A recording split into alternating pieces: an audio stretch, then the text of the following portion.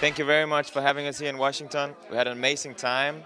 It was our first time in Washington, and yeah, it's definitely not our last one, that's for sure. We had an amazing time. Thank you so much for having us. It was great, really, it was great. Absolutely, we had a blast. Thank you very much. Thank you.